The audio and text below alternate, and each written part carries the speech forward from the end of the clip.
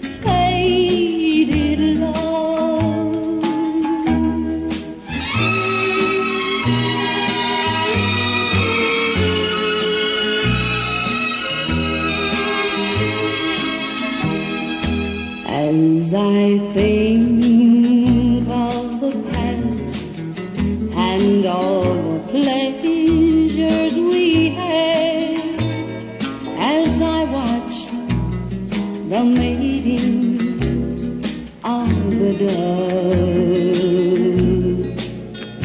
It was in the springtime that you